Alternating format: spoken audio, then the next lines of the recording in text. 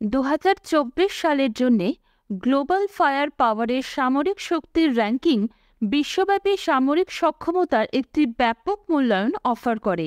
এই র্যাঙ্কিং একশো পঁয়তাল্লিশটি দেশকে অন্তর্ভুক্ত করে সৈন্য সংখ্যা, সামরিক সরঞ্জাম, আর্থিক স্থিতিশীলতা, ভৌগোলিক অবস্থান সহ ষাটটি বিষয় বিবেচনা করে।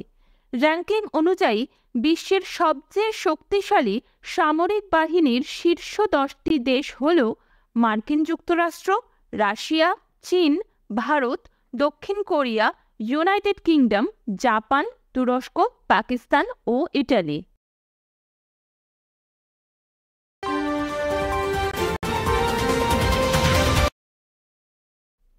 ওয়ার্ল্ড ইকোনমিক ফোরাম এবং তেলেঙ্গানা সরকার যৌথভাবে হায়দ্রাবাদের ডাব্লিউইএফ এর চতুর্থ শিল্প বিপ্লব নেটওয়ার্কের উনিশতম কেন্দ্র প্রতিষ্ঠা করেছে। দাভোসে তেলেঙ্গানার মুখ্যমন্ত্রী এ. রেভন্ত রেড্ডি এবং ডাব্লিউইএফ এর সভাপতি বোরজে ব্রেন্ডের মধ্যে একটি বৈঠকের সময় এই সহযোগিতাটি দৃঢ় হয়েছে, যা স্বাস্থ্যসেবা প্রযুক্তির অগ্রগতির ওপরেও প্রতিশ্রুতি দেয়।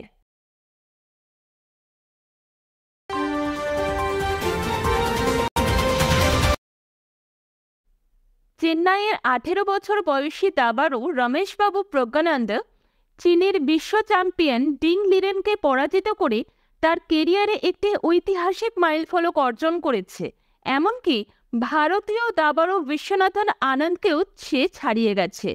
আনন্দের দু হাজার সাতশো আটচল্লিশ রেটিংকে সামান্য ছাড়িয়ে প্রজ্ঞানন্দের রেটিং দু হাজার সাতশো আটচল্লিশ দশমিক তিন।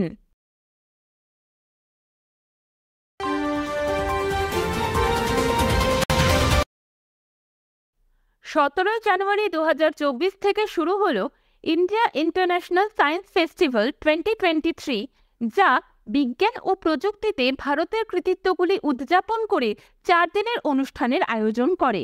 ভারত এবং ন্যাশনাল ইনোভেশন ফাউন্ডেশন ইন্ডিয়ার সম্মিলিত প্রয়াসে আয়োজিত এই অনুষ্ঠানের লক্ষ্য হল বৈজ্ঞানিক মেজাজ বৃদ্ধি করা ও ভারতীয় জনগণের মধ্যে সচেতনতা ছড়িয়ে দেওয়া। এই অনুষ্ঠানের এবছরের থিম হলো science and technology public outreach in Amritkaal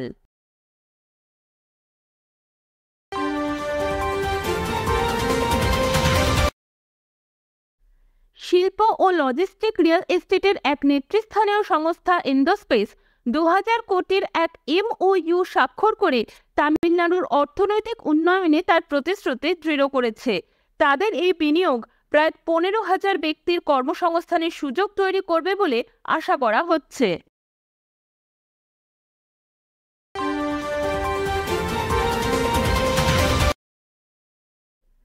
Chitra Banerjee দিবাকরণের রচিত an uncommon love the early life of Sudha and Narayana Murthy বইটি ইনফোসিসের প্রতিষ্ঠাতা নারায়ণ মূর্তি ও সুধা মূর্তির যারা ভারতের সম্মানীয় দম্পতিদের একজন তাদের জীবনের একটি অন্তরঙ্গ দৃষ্টিভঙ্গি উপস্থাপন করে।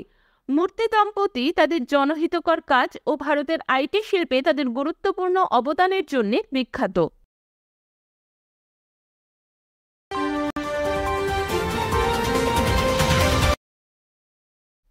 সম্প্রতি উন্মোচিত Edelman Trust Barometer twenty twenty ফোরে ভারত বিশ্বাসের ক্ষেত্রে বিশ্বব্যাপী অগ্রগামী হিসেবে আবির্ভূত হয়েছে ও ব্যবসা ও বেসরকারি সংস্থাগুলির আস্থার শীর্ষে রয়েছে।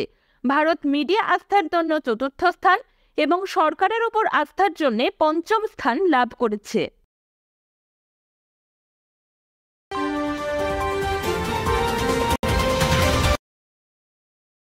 বৈশ্বিক সংঘাত, জলবায়ু পরিবর্তন এবং ডিপফেক নিয়ে ক্রমবর্ধমান উদ্বেগের মধ্যে ডাভোসে শুরু হয়েছে ওয়ার্ল্ড ইকোনমিক ফোরামের চুয়ান্নতম বার্ষিক সভা।